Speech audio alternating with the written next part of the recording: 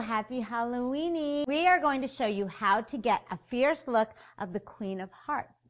The great thing about this look is really what we're going to show you is how to do a very fierce smoky eye and then we're going to show you how to get those cute little heart-shaped lips.